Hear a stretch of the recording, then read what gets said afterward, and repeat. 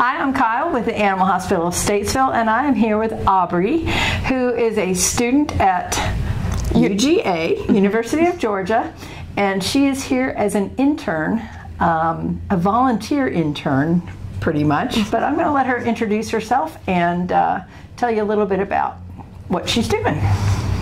Hi, I'm Aubrey, and like like she said, I go to University of Georgia. I just finished my second year, which is halfway done with vet school. I went to Clemson University for undergraduate degree for pre-vet, and now I'm at University of Georgia since South Carolina doesn't have a veterinarian school Yet.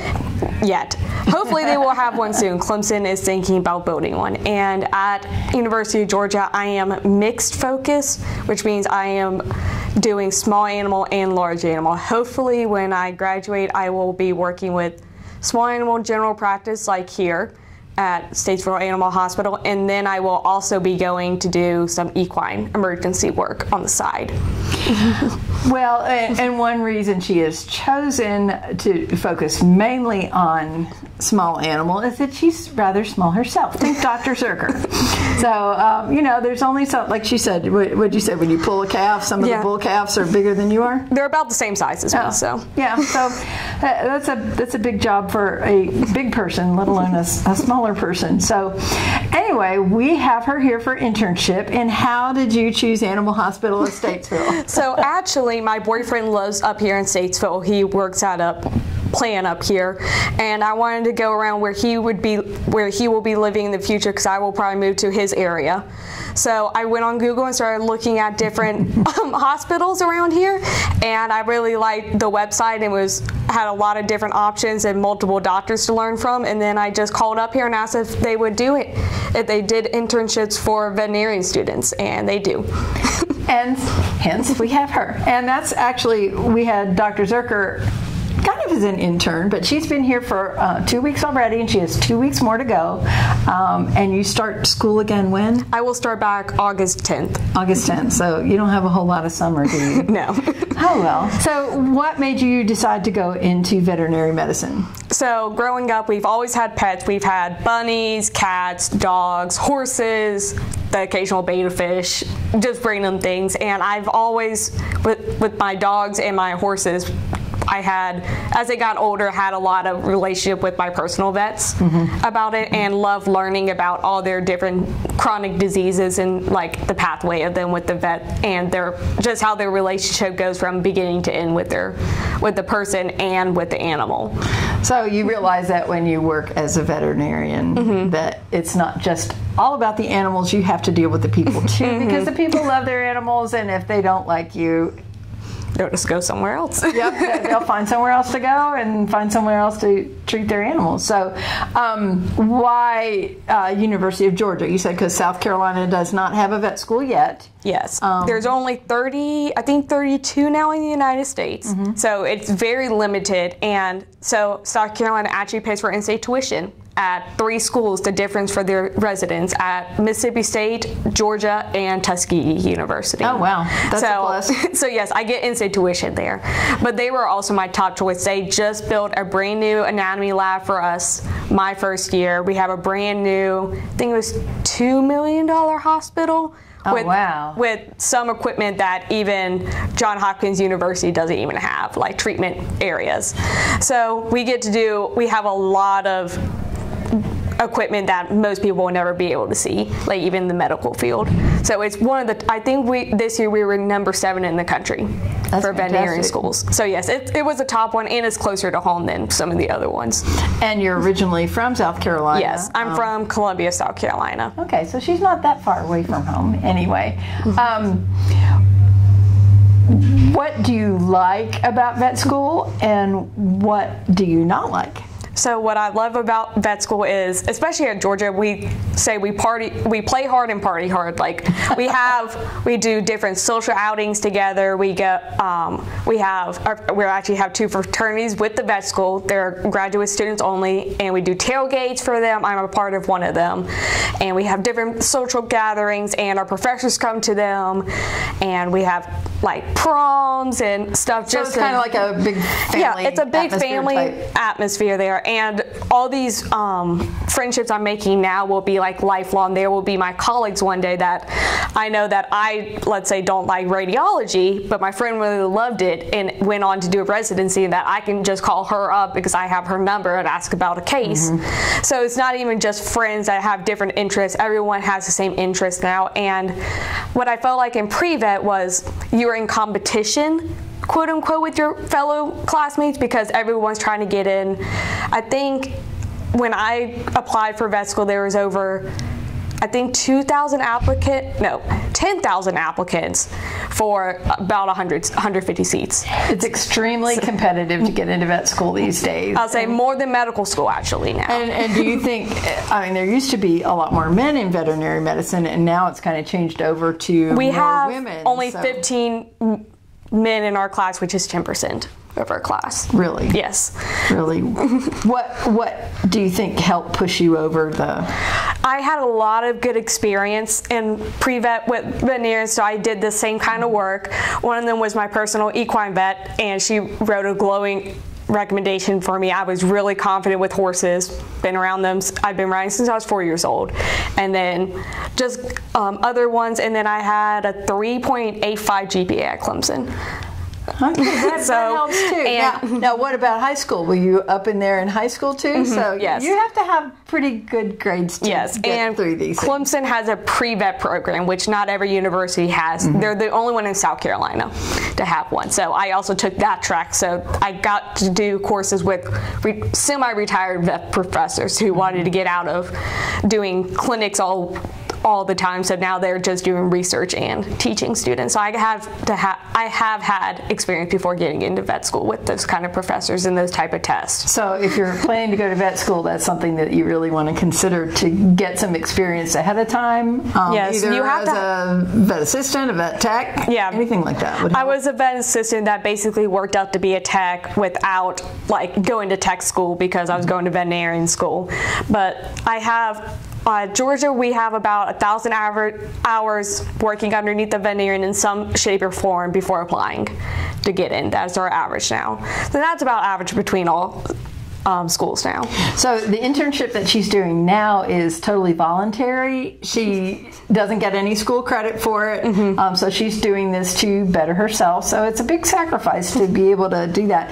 Um, uh, the one thing you didn't answer is what do you not like about I school? but I, we won't show this to her professors or anything. Well, yet. they know. They they tell us this. It's like drinking out of a fire hose. Last semester, I had two exams a week the entire semester. Oh, yeah. so, and we had surgeries, and surgeries you're standing there for five to six hours a day, plus having to study for U2 tests a week.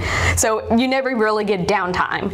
But usually, my friends and I, like after some big test, we go out and get Mexican or go get pizza together on Friday night, and then all day Saturday, you're studying, watching football or whatever on the yeah. TV. But yeah, most of the time, it's you don't get a lot of downtime. It's a lot of time studying.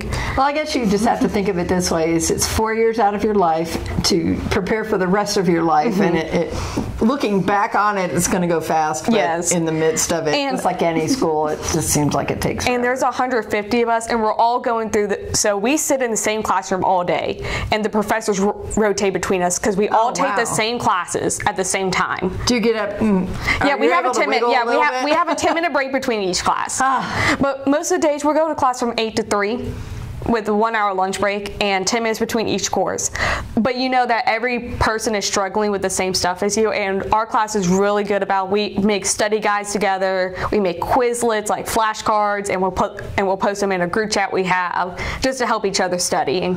So there's a lot of camaraderie, colleague support yeah. and, and camaraderie about it. And like we all like if everyone feels bad about an exam, you feel better about it. Yeah. Um, so yeah, it's just like everyone's going through the same thing now, and now we're just trying to support each other and build each other up with it. Uh, do they give you um, business education when you're we in do, school? We have a little bit, but we have a club called um, VBMA, which is Veterinary Business Management Association. I'm a part of that, and they have different people come in from all parts of the industry, from veterinarians to technicians mm-hmm. to corporates and um, other practices come in, and the Georgia Veterinary Medical Panel comes in and talks to us about okay. different topics. So I if you want to, you can get medical practice, I mean business practice, but it's not required with school. Well, veterinarians are, have one of the highest suicide rates. Um, the whole profession or the profession as a whole including technicians and everything are very much under stress these days are they addressing that in vet school we now? have um, we personally have two psychiatrists on on our staff for the students to use free of charge. The school pays for them. We have so University of Georgia has two campuses. Mm-hmm. We have our brand new veterinary, not brand new, it's about five years old veterinary teaching hospital. Then we That's have still pretty new. yeah, but not brand new. Well. But and then the others, and then we have Classic Cambridge, which is on site, like on University camp, University of Georgia campus, and that's Classic Campus. That's where their old hospital was, and that's where I've been at school for two years. And next year I'll be moving over to the hospital. So they have a they have one at each school that we can go see. well it sounds like you got a lot of like you said the camaraderie that you have with The- your with your yeah. other students so if somebody's going through something you can And we you can kinda have help them go uh, through it. Bulldog program because we are the dogs. We have a bulldog support isn't network. that we have a bulldog support network too of students that help each other if you don't want to go see the psychiatrist about it. That's good. That's really good. Um, so you have two more years of vet school. Mm-hmm. What does your internship look like from there? She doesn't just do this one, which is volunteer.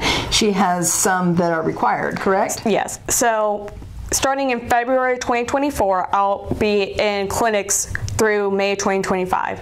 So that's at the hospital doing large and small animal. I'll be doing anesthesia, radiology, surgery, etc., etc. And then I do between three and five outside externships, and these will be. And it depends on. They just approved it for us to have five because we have a bigger class size now. We're 150. It was 120. So, so yeah, they've approved us to do more. But one of them will be at um, Charleston's Humane Society doing spay neuters. Um, So you you'll get a lot of practice doing that. There. and I've gotten some practice here. I've been able to help with neuters and some spays here too. Well, you've been uh, have you been working with all the doctors Yes. on that? I, I'm here on Tuesday, so I see you're working with Dr. Gaither. So And Dr. Pendergrass, me, we've been in a lot of surgeries because he's been in surgery two days a week while I've been here so far. Oh, okay, So, that works out well. Well, she's getting a taste of what it's really like, and she's still willing to go back, right? oh yeah. so, um, do you have any idea where you're going to want to practice? One day, my boyfriend and I, we do want to move to Texas. We want to move to the Dallas Fort Worth area. I grew up doing rodeo and riding horses, and he's a big hunter. So, for both of our lifestyles, it would be we want to go somewhere out west, and I mm-hmm. feel like the Dallas area would be somewhere. And with his current company, they have a lot of plants near Dallas area. So yeah, one day we'll end up out there.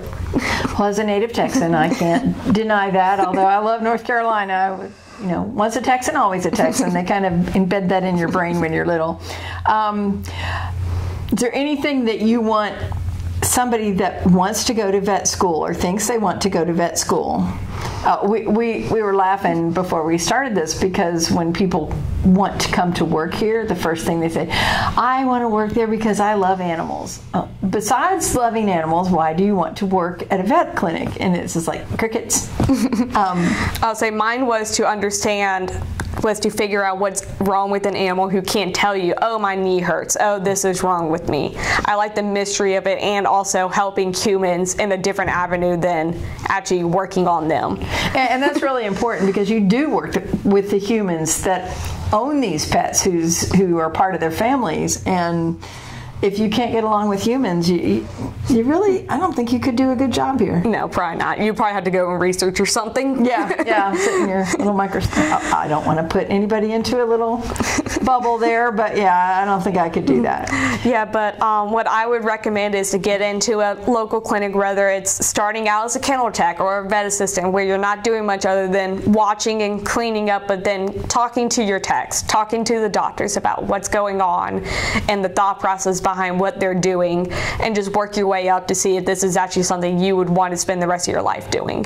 yeah don't don't all of a sudden go into vet school and then decide oh Yeah, you put. This isn't anything like what you I have, thought it You would have to do four years of undergrad plus your four years of vet school. You don't want to spend eight years worth of college tuition just to realize two years out you don't want to do it. no, it, it's not an inexpensive, even with out of state or in state mm-hmm. tuition. Um, and not everybody's been that lucky to get the in state tuition. Mm-hmm. I think most of our doctors actually have. NC, um, NC State gives it after the first year, no matter what your resident status is. Well, uh, Dr. Christie, I think, was from here. Mm-hmm. Dr. Gaither was from here. Dr. Pendergrass was from here. Dr. Cooney went to Auburn. He was from Alabama.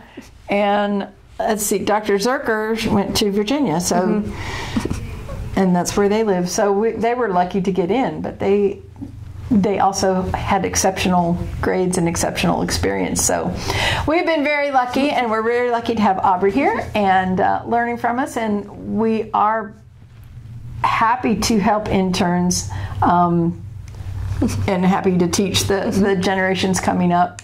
Um, to do what we love doing and what some of us have done for a quarter of a century. so, um, good wishes to Aubrey, and um, we hope you'll come back and visit us once in a while before you go back to Texas. It's a long drive. I've done it a 1000000 I've times. Done, I've done it too. yeah, it's fun. It's like, oh, we just went through Mississippi. I totally forget that state. oh well. Well, thank you very much for watching. Just thought this might be of interest to you all. Um, so wish Aubrey good luck, and um, she'll be a great vet. Thanks. Thank Bye. You.